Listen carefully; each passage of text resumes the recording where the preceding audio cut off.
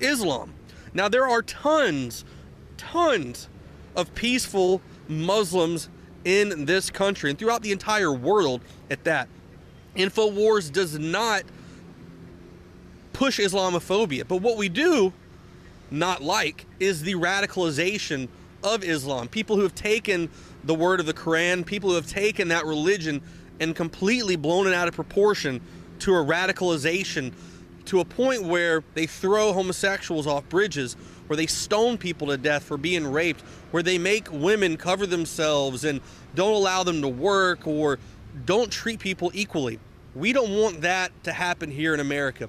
Now, I was just in Molenbeek, Belgium the other day, and that is an area that has been completely taken over by radical Islam. It's considered the jihadi capital of Europe. Now, on this trip, we're going to go to a few places that are like Molenbeek in Belgium that have large populations of Muslims from different parts of the country, from Iraq, Syria, Afghanistan, Pakistan, Yemen, all over the world. We don't have a problem with the ones who want to come over here, start families, get a job, and be peaceful. But what we want to expose is that double standard that's going on as well. We have companies, we have different businesses throughout America that have come out and said that they will not open their doors to Muslims. But then you have these places like in Molenbeek, where we went to in Belgium, where they don't allow myself to even walk around. I can't even go into a restaurant because of who I am, because I'm an American, because I'm white. That is what we have a problem with, is that right there. You can't defeat racism by having more racism. You can't ask for equality and ask for rights when you're denying other people those exact same things. It just doesn't work that way. So that's what we're here to do is expose that double standard. We're here to investigate the caliphate that is starting to unfold here in America because we have open borders, because we have a White House, a president who allows this to happen. Even though there's insiders in Washington who say that the attacks that happened in Paris were because of open borders. So it's not racist to go, hey, we should shut these borders down. We need to shut them down and then figure out a better way to vet the people because the FBI says they don't have the ability to vet all of these refugees. Like I said before, many that are coming through will be peaceful people. They will become Americans. They will get jobs. They will raise families, and you'll never hear from them again. But then you're going to have a few bad apples that are slipped through. So that's what this whole trip's about is exposing that right here. So stay tuned for the next few days. We'll give you reports from different locations across the Northeast and our way back down towards Texas. So stay tuned for more reports. Go to Infowars.com. I'm Joe Biggs.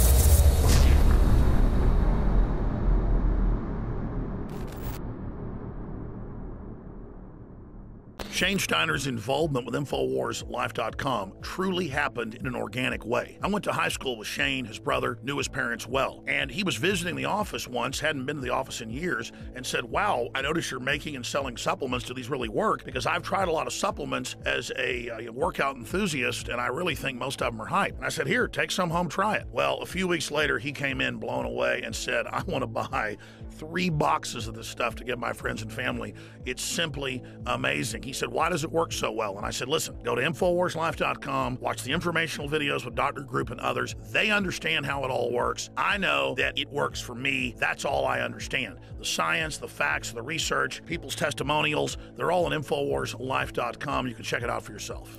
I wanted to go to the gym. I wanted to push myself and work out harder. And that led to me being able to come out and do stuff like the barefooting and the surfing and stuff like that, which what I've never done. I, I never would have done that uh, two years ago. Shane has said over and over again more than just libido and energy, it made him want to get into the gym more. It made him want to get in better shape. And believe me, the Steiners have amazing genetics.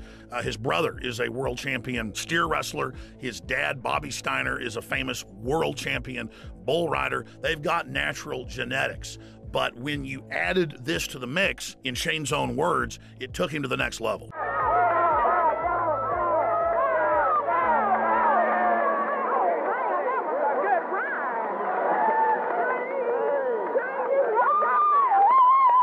Shane noticed the mental clarity Bobby was able to work out longer and gain muscle mass. He's already completely shredded. I gotta admit, for me, the biggest effect has been libido. Now, I've never claimed to have a body like some beach model, but back when I was 20, 22 years old and worked out every day, I looked great. But over the years, and being married, having three kids, working 18 hours a day, I gained basically 100 pounds. And it's been a long process losing that weight in the last four years. But if you look at the photos and the videos what I looked like four or five years ago versus today, the results are dramatic. I'd already cleaned up my diet. I was working out hard, but I'd only lost about 20 pounds. It was adding the other key ingredients from InfoWarsLife.com that helped me personally go to the next level and shed another 35 pounds. This has actually made me feel so good that uh, here about a year ago, I started training jujitsu, and that kind of led to doing some boxing and kickboxing. I mean, it's it's amazing that two years ago I was on the couch and couldn't even tie my shoes, and now I'm training with MMA fighters and uh, just doing stuff that I never thought that I'd, I would be doing ever again. So, Super Male Vitality has allowed me to do some amazing things. And if it has those kind of effects for me, I know that it will do great things for you. So just try Super Male Vitality. I promise you, you'll love it. And finally, let's look at Anthony Gucciardi, Infowars.com reporter. He also works with Dr. Group and others, helping develop the newest, most cutting edge, high quality supplements. Let's take a look at what happened when he tried to barefoot ski for the first time with the Steiners. And remember, we're not making fun of him. He had the will to get in the arena, and he's lost more than 10 pounds in the last few years of fat and gained more than 10 pounds of muscle. And Anthony chalks it up to super male vitality as well.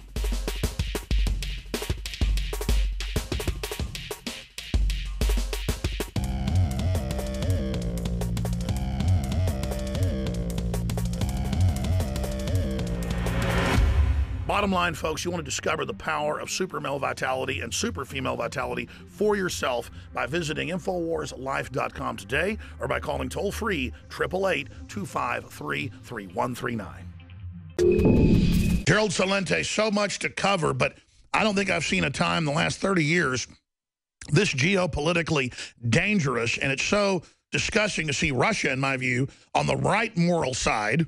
As much as I don't want to see them bombing a country, they are bombing the people that are actually starting the war. Uh, disagree, agree? Where do you see this going? What are the trends? Trendsresearch.com. Well, on Russia, they, they were invited into Syria by the sovereign government, like Assad or not.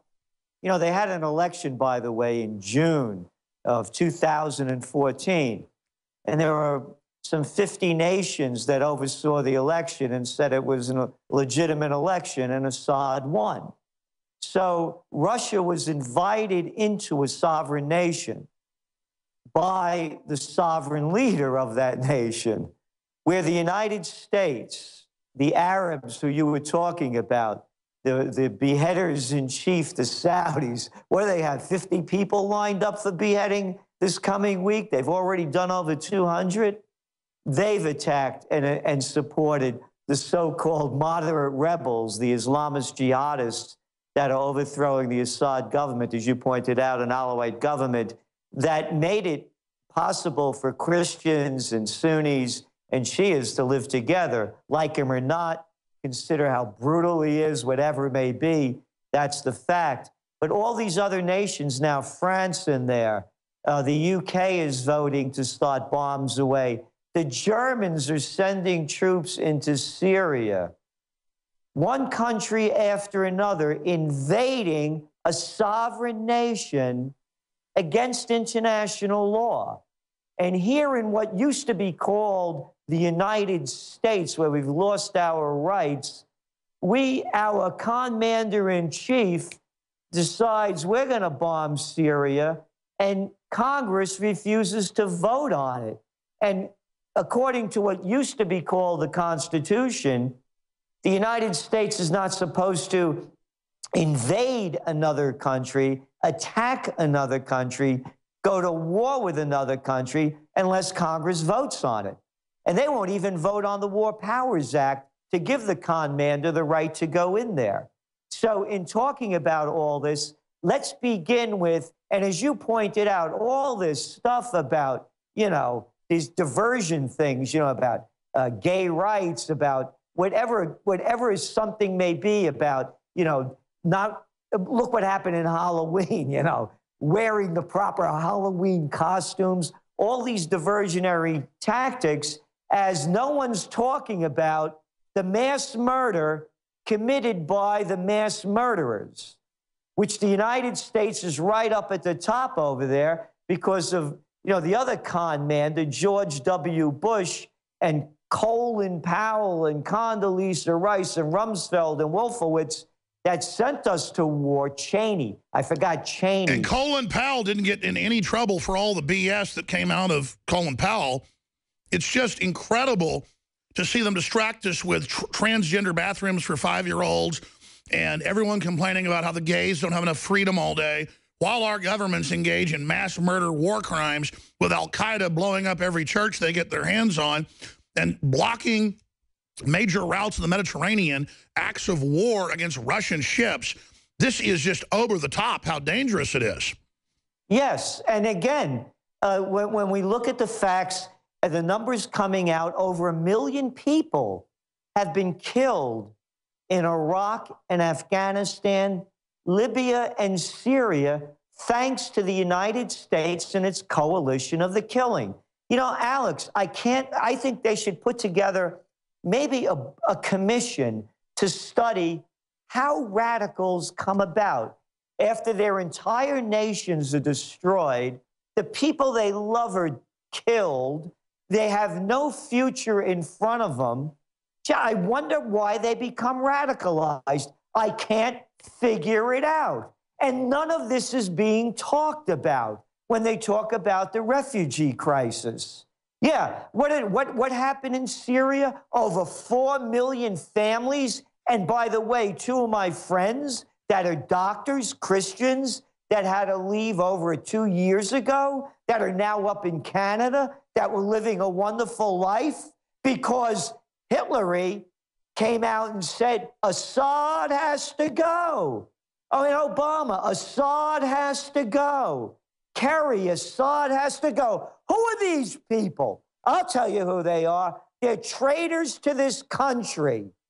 Anybody that goes into a foreign nation unwelcome by those people and they are not a threat to the United States is a traitor to everything this country's been founded upon. You're right. And now but it's created giant threats to this nation. And after they destabilize the Middle East in this 20-year program, they then radicalize and fund the most vicious jihadis uh, quarterbacked by Saudi Arabia, then destabilize the whole world. Then they pose as saviors yet again. What is their end game? Yep. Sick people have no end game. Why can't anyone call a spade a spade? A megalomaniac, a megalomaniac. A Hitler, a Hitler, a Mussolini, a Mussolini, a, a Bush, Obama, a Cheney, psychopaths. Hillary Clinton, could you get a better psychopath than her? Look at that clip on CBS when she was asked, how did she feel when they found out Muammar Gaddafi was dead? And she goes on to that rant.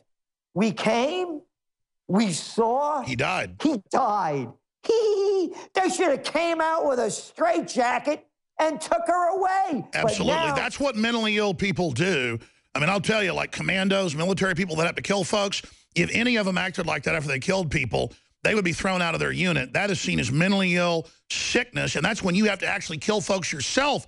You don't like doing it. Here's Gaddafi, worked with the West for eight years, let us in, gave up his weapons, invested, met with Obama, believed he was their friend, had dinner with him and Sarkozy, and they literally set him up and killed him and put al-Qaeda in charge. And then took the weapons from Benghazi, killed uh, Ambassador Stevens to cover it up and ship the missiles into Syria, which they're now using to shoot down airliners and blow stuff up. It is incredible.